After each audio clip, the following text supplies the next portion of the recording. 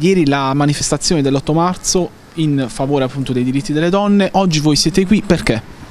Noi siamo qui perché ehm, ieri alcune donne hanno ehm, esercitato il diritto ehm, di manifestare quindi ehm, ieri nell'8 marzo, giornata internazionale della donna, sono scese in piazza per appunto esercitare il diritto di protestare contro eh, la violenza, per una quindi anche parità di genere richiesta, quindi contro le discriminazioni, eh, contro appunto tutte quelle forme di disparità sui luoghi di lavoro che le donne hanno, così come anche ehm, voglio dire in famiglia, ma ovviamente ovunque. Quindi ehm, legittimamente hanno manifestato, però ad ogni diritto corrisponde anche un dovere. Quindi se abbiamo il diritto di manifestare abbiamo anche il dovere di mantenere pulita la nostra città. Quindi ci rivolgiamo alle giovani generazioni che sicuramente hanno affisso